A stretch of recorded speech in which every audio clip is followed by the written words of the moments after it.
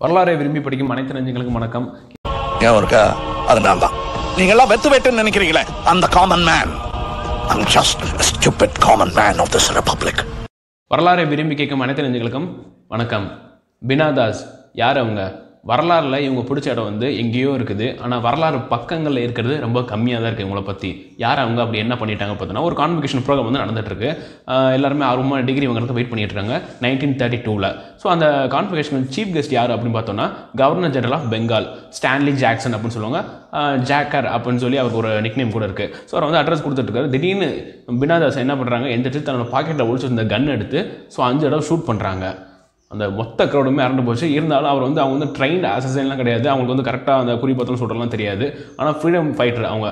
வந்து நாட்டுக்கு வந்து சுதந்திரம் கிடைக்கணும் அப்படின்னு போராடுற ஒரு சாதாரண ஒரு லேடி தான். ஸோ அவங்க தான் ஷூட் பண்ணுறாங்க ஆனால் அந்த புல்லட் எல்லாமே மிஸ் ஆயிடுச்சு. ஸோ யார் அவங்க? அவங்களுக்கு என்ன எந்த மாதிரிலாம் வாழ்க்கை அதுக்கப்புறம் இருந்தது? எப்படி அவங்க கொடுமையான நிலையில் வந்து இறந்து கிடந்தாங்க? உடம்பு அழுகுன நிலையில். கிட்டத்தட்ட ரெண்டு வாரம் கழிச்சு தான் போலீஸ் வந்து ஐடென்டிஃபை பண்ணாங்க. இது பினாதாஸ் அவங்க அப்படின்னு சொல்லி. அதுக்கப்புறம் லேட்டராக பேப்பர்லாம் பப்ளிஷ் பண்ணாங்க. யார் அவங்க அப்படின்னு சொல்லி பார்த்துடலாம். ஸோ இவங்களோட லைஃப் டைம் பீரியட் பார்த்தீங்கன்னா நைன்டீன் லெவன்லேருந்து நைன்டீன் எயிட்டி சிக்ஸ் வரைக்கும். ஸோ இவங்க சின்ன வயசு வந்து ஸ்கூலிங் அந்த டைத்தில் வந்து படிக்கிறப்போ ஒரு பத்தர் தாபி அப்படின்ற ஒரு புக்கு வந்து ஒருத்தர் பப்ளிஷ் பண்ணியிருக்காரு. அப்போ அந்த புக்கை வந்து ஒரு வாரத்தில் வந்து ஈஸியாகவே வந்து பேன் பண்ணிட்டாங்க பிரிட்டிஷ் கவர்மெண்ட் ஆனால் அந்த ஒரு வாரத்தில் நிறைய காப்பீஸ் வந்து சோல்ட் ஆயிடுச்சு. ஸோ அந்த அப்படி தான் இவங்க கையில் வந்து ஒரு புக்கு கிடச்சிருக்கு. அதுக்கு மீன் அந்த பத்தர் தாபி மீனிங்னா அந்த ரைட் ஆஃப் வே அப்படின்னு அர்த்தம். ஸோ அதை வந்து படித்து இன்ஸ்பிரேஷன் ஆகி பயங்கரமாக ரொம்ப ஆர்வமாக இருந்தாங்க. ஆனால் அன்றைக்கி அவங்களுக்கு வந்து இங்கிலீஷ் எக்ஸாம் வேறு இருந்திருக்கு ஸோ ஆனால் அதை விட்டுட்டு இதை தான் அதிகமாக படிச்சுட்டு இருந்தாங்க. எக்ஸாம் வந்து அந்த அளவுக்கு நான் சரியாக எழுதலை. ஆனால் எஸ்ஐ கேட்டப்போ இந்த எஸ்ஐயை பற்றி நிறைய எழுதி வச்சுருந்தாங்க. ஸோ பேப்பர் எவாலுவேஷன் ஆகி வந்தப்போ கம்மியான மார்க்ஸ் அவங்களுக்கு இருந்துச்சு. நாட்டுக்காக எதையோ தியாகம் பண்ணுறாங்க தன்னோட மார்க்கை தான் முத முதலாக இவங்க ஆஃபரிங் பண்ணியிருக்காங்க அப்படின்னு சொல்லி இவங்களை பினாதாஸை பற்றி இன்னொருத்தவங்க புக் எழுதியிருக்காங்க. ஸோ அதில் தான் இந்த இதெல்லாம் மென்ஷன் பண்ணியிருக்காங்க இவங்க ஃபேமிலியை பற்றி அப்படின்னு பார்க்குறப்போ அப்பா ப்ரொஃபஸர் அம்மா சோஷியல் ஒர்க்கர் அக்காவும் கல்யாணி தாஸ் அவங்க நேம் அவங்களும் ஒரு ஃப்ரீடம் ஃபைட்டர் தான். இவங்க பினாதாஸ் இவங்களும் ஃப்ரீடம் ஃபைட்டர் இவங்க என்டையர் ஃபேமிலியுமே பார்த்தீங்கன்னா இன்டெரக்டாக ஃப்ரீடம் வந்து வாங்குறதுக்காக ஸோ போராடிக்கிட்டு இருக்காங்க. அவங்க அப்பாவோட முக்கியமான அவங்க அப்பா பற்றி சொல்ல வேண்டியது சுபாஷ் சந்திர போஸ் அவர்கள் இவங்க அப்பாவோட ஸ்டூடெண்ட் அதாவது பினாதாஸ் அவங்க அப்பாவோட ஸ்டூடெண்ட் ஸோ அவர் நிறைய இன்ஸ்பிரேஷன் ஆகி அதுக்கப்புறம் தான் அந்த ஃப்ரீடம் ஃபைட்லாம் ரொம்ப ஆக்டிவாக இன்வால்வ் ஆனாங்க. ஸோ ஈவன் அவர் வந்து சுபாஷ் சந்திர போஸ் இவங்க வீட்டுக்கு ஐ மீன் பினாதாஸ் அவங்க வீட்டுக்கெலாம் வரப்போ அவங்க அம்மான்னு சொல்லியிருக்காங்க அவங்களோட கிரேட்டஸ்ட் இன்ஸ்பிரேஷன் என்னோட பொண்ணு அப்படின்னு சொல்லி நிறையா சொல்லியிருக்காங்க. ஸோ அன்னிலிருந்து சுபாஷ் சந்திர போஸ் பினாதாஸுக்கு ஒரு மென்டாராகவே வந்து சர்வீஸ் வந்து பண்ணிகிட்டு இருந்திருக்காரு. சரி இதெல்லாம் ஒரு பக்கம் இருக்கட்டும். சரி எப்படி வந்து இந்த பெங்கால் கவர்னர் சூட எப்படிலாம் ட்ரைனிங் எடுத்தாங்க? என்ன மாதிரிலாம் பண்ணாங்க? அப்படின்னு பார்க்கலாம். ஒரு ஹண்ட்ரட் குரூப் மெம்பர்ஸ் வந்து மொத்தமாக ஃபார்ம் பண்ணாங்க. லேடிஸ் எல்லாமே சேர்ந்து அந்த காலேஜ் ஒரு ரெண்டு மூணு காலேஜ் ரெண்டு மூணு ஸ்கூல்ஸ் வந்து மொத்தமாக ஃபார்ம் பண்ணி கல்யாணி தாஸ் பினாதாஸ் இவங்க எல்லாமே ஆர்கனைஸ் பண்ணுறாங்க ஒரு சி- சின்ன ஹாஸ்டல் புண்ணியா ஆசிரம் அதாவது பினாதாஸ்னால எஸ்டாப்ளிஷ் பண்ணது அவங்க அம்மா தான் வந்து பார்த்துக்கிட்டாங்க.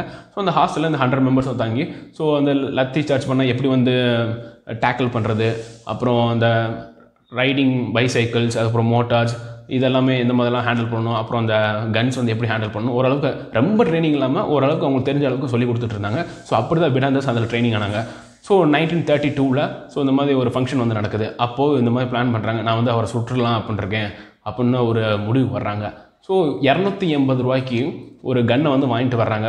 கல்யாணதாஸ் அவங்க தான். இது வந்து கல்யாணதாஸ் சொல்கிறாங்க இல்லைன்னா வந்து ஒரு மேல் அவங்களோட காம்ரேட் ஸோ அவரை வந்து வாங்கி கொடுக்குற அப்படின்ற சொல்கிறாங்க ரெண்டில் எது வேணால் நம்ம எடுத்துக்கலாம்.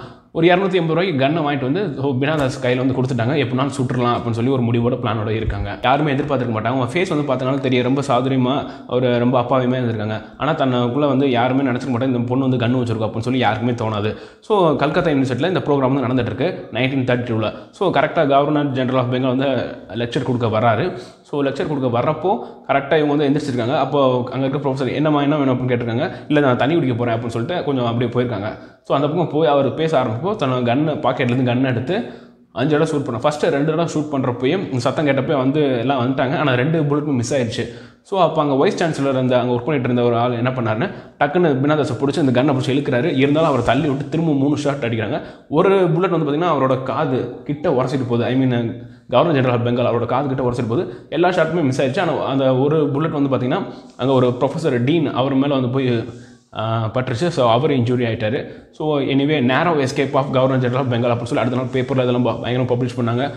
ஒரு இருபத்தொரு வயசு பொண்ணு வந்து ஒரு கவர்னர் ஜென்ரலாக கொள்றதுக்கு அட்டம் பண்ணியிருக்கா அப்படி இப்படின்னு பயங்கர ஃபேமஸ் ஆகிட்டாங்க அன்றைக்கி ஒரே நாளில். ஸோ மறுநாள் கோர்ட் ஜட்மெண்ட்டில் அவங்க சொன்ன விதம் என்னென்னா அந்த இடத்துல யார் கவர்னர் ஜெனரல் ஆஃப் பெங்காலில் இருந்தாலும் நான் சுட்டிருப்பேன். இவர் ஸ்டான்லி மேலே வந்து எனக்கு ஒன்றும் பர்சனல் பிடிங்கன்ஸ்லாம் கிடையாது. அவர் வந்து நான் கொல்லணும் அப்படின்ற விஷயம்லாம் கிடையாது. ஏன்னா இந்த கவர்னர் ஜெனரல் ஆஃப் பெங்கால் தான் என்னோட தாய்நாட்டிலேருந்து three million men and women ரெண்டு பேத்தையுமே அடிமைப்படுத்தி வச்சு வந்திருக்காரு. தன்னோட நாட்டை இழிவுபடுத்துகிற மாதிரி. ஸோ எத்தனை நாளைக்கு நாங்கள் இந்த கொடுமையை அனுபவிச்சுட்டே இருக்கிறது அப்படின்னு நான் அதுக்காக தான் அவரை வந்து நான் சுட்டேன். எப்படினாலும் எனக்கு வந்து ஒரு வாழ போகிறனோ சாக போகிறனோ அது நாட்டுக்காக தான் அப்படின்னு சொல்லி நான் முடிவெடுத்துட்டேன். அதனால தான் தைரியம் வந்து நான் சுட்டேன் அப்படின்னு சொல்லி சொன்னாங்க. அன்றைக்கி ஒரே நாள் இவங்க செஞ்சனால பல ஃப்ரீடம் ஃபைட்டர்ஸ் வந்து புதுசாக வந்தாங்க. ஒரு ஐ மீன் ஒரு இன்ஸ்பயர் ஆகி ஸோ அதுலேருந்து சரி நம்மளும் இன்னும் போராடணும் அப்படின்னு சொல்லி நிறையா பேர் வந்து ஜாயின் பண்ணாங்க ஃப்ரீடம் மூமெண்ட்டில் ஸோ இவங்க இப்படி பண்ணனால கல்கத்தா யூனிவர்சிட்டி அவங்களோட டிகிரி வந்து ஹோல்ட் பண்ணி வச்சுட்டாங்க. அது மட்டும் இல்லாமல் உங்களுக்கு ஒன்பது வருஷம் சிறை தடவை கொடுத்துட்டாங்க. அங்கே வந்து பார்த்திங்கன்னா பயங்கர கொடுமையான விஷயம்லாம் அவங்களுக்கு வந்துருக்கும். பயங்கர டார்ச்சர் பண்ணாங்க. ஸோ ஹங்கர் ஸ்ட்ரைக்லாம் இது வந்து அவங்களே ப்ராக்டிஸ் பண்ணிக்கிட்டாங்க. எப்படினா நம்மளை கஷ்டப்படுத்துவாங்க அதை நம்மளே ட்ரெயின் அப் ஆகிக்கணும்னு சொல்லி ஜெயிலுக்குள்ளே ஹங்கர் ஸ்ட்ரைக் ப்ளஸ் வந்து அந்த எறும்பு இருக்குது பார்த்தீங்களா கட் கட்டெரும்போட மோசமான எறும்பெல்லாம் இருக்கும். அதை வந்து வேணுமே அவங்க காலில் வெட்டு கடிக்க விடுறது. அதுக்கப்புறம் அந்த நெருப்பில் வந்து விரலை வச்சு இப்படியே சுட்டு அது அந்த வழியை தாங்கணும் அந்த வழி வந்து பேர் பண்ணணும் அப்படின்ற அந்த ப்ராக்டிஸ்லாம் அவங்களே எடுத்துக்கிறாங்க. எப்படினாலும் நம்மளை கொடுமைப்படுத்துகிறாங்க ஸோ அதை நம்ம தாங்கிக்கணுன்றனால ஸோ அவங்களே செல்ஃப் ப்ராக்டிஸ் மாதிரி தான் எடுத்துக்கிறாங்க.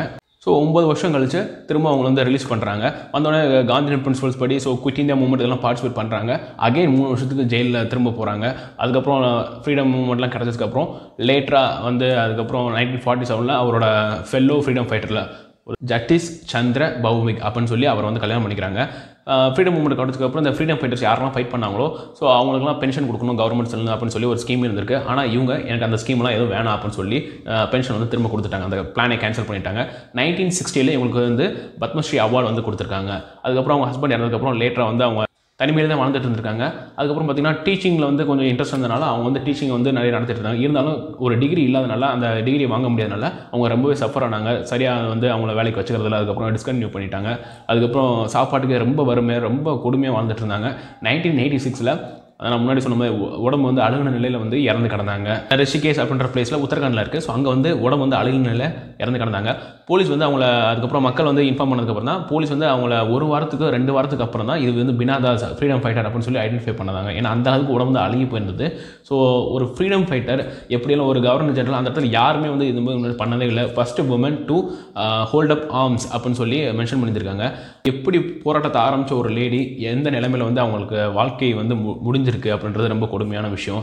ஸோ ரெண்டாயிரத்தி பன்னில் தான் அவங்களோட ஹோல்ட் பண்ணி வச்சிருந்த கல்கத்தா யூனிவர்சிட்டி அந்த டிகிரி வந்து ஸோ அவங்களுக்கு வந்து போஸ்ட் மாஸ்டர் அவார்டாக கொடுத்துருக்காங்க. பிஏ இங்கிலீஷ் லிட்ரேச்சர் தான் அவங்க படிச்சிருக்காங்க. செகண்ட் கிளாஸில் வந்து அவங்களுக்கு கிரேடிங் சிஸ்டம் வந்து இருக்குது செகண்ட் கிளாஸ் தானே அப்படிலாம் கேட்காதீங்க. செகண்ட் கிளாஸ் அந்த டைத்தில் வந்து கிரேடிங் சிஸ்டம் மார்க்கிங் சிஸ்டம்லாம் வேறு லெவலில் இருந்துச்சு. ஒவ்வொருத்தருக்கும் வேறு மாதிரி.